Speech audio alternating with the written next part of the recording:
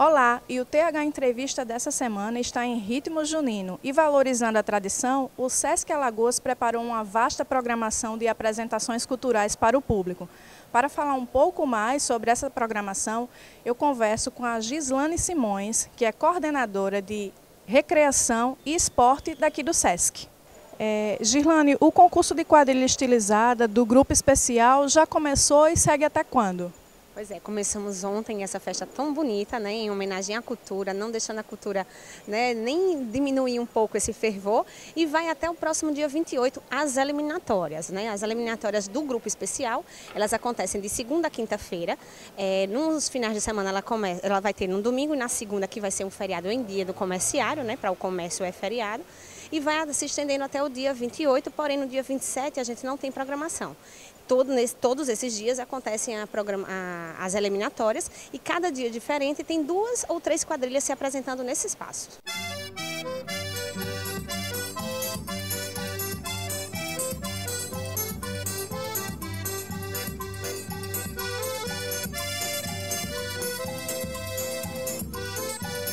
E a final do concurso, tem previsão, data, horário, valores? Pois é. As finais, né, como a gente já teve o concurso do, do grupo de acesso, a final do grupo de acesso é no dia 30, no sábado, e o grupo especial se, ap se apresenta as finais, eh, geralmente as seis finalistas, se apresentam no domingo também, no dia 1 de julho. Os dois dias começam às 19 horas, também aqui no Sesc Poço. Né? A entrada nesses dias a gente direciona para a Liga das Quadrilhas, né, para poder fazer a distribuição por ser um espaço que é limitado, né, o número de pessoas participantes. Então, a gente faz nesse formato para poder ter um controle maior. As quadrilhas estilizadas, elas estão cada vez mais luxuosas, né? mas sem perder o brilho da dança caipira.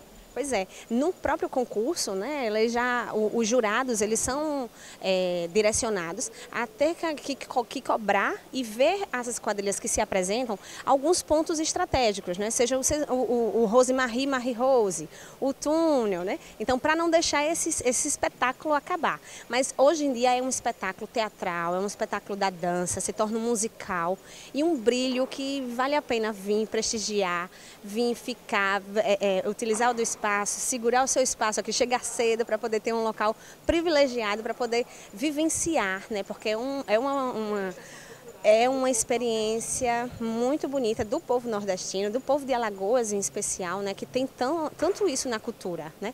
Então essa programação é muito interessante para todas as pessoas que têm, que têm interesse em não deixar a cultura morrer. Né?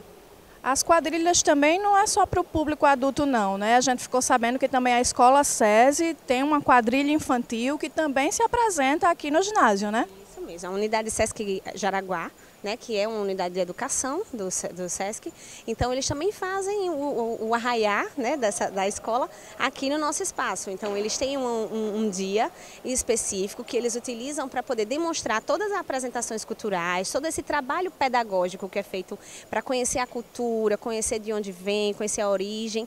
E depois eles vêm para campo né, e vêm apresentar para os familiares, para as pessoas que têm interesse, né, assim, os vizinhos, tudo, vêm se apresentar aqui também também no Sesc Poço. Girlane, a programação não se limita só ao Sesc Poço, né? Tem também o Sesc Guaxuma. Conta pra gente um pouco da programação de lá. Pois é. No Sesc Guaxuma, todos os domingos, a gente tem uma, uma programação variada, com bandas de forró, apresentações de coco de roda, quadrilhas, para todo mundo que está lá prestigiando.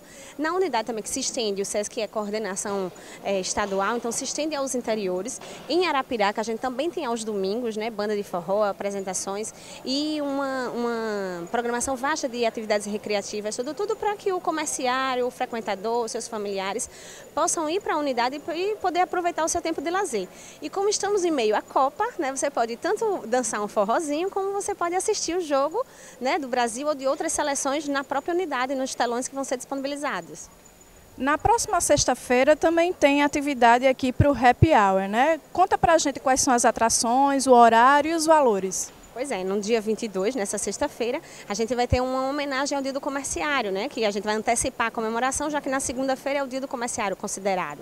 Então a gente vai ter aqui Mila do Acordeon abrindo o show a partir das 19 horas, né? Porque como o mês de junho é um mês festivo a São João, então a gente tem, vai ganhar mais meia hora de happy hour e vai abrir com Mila do Acordeon abrindo o show para Will Araújo, né? A partir das 19 horas indo até as 11.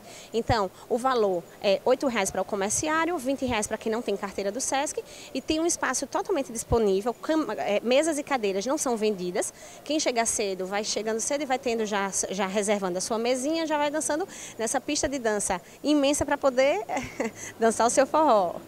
Ok, Girlane, muito obrigada pela atenção e pelas informações. E o TH Entrevista fica por aqui. Até a próxima.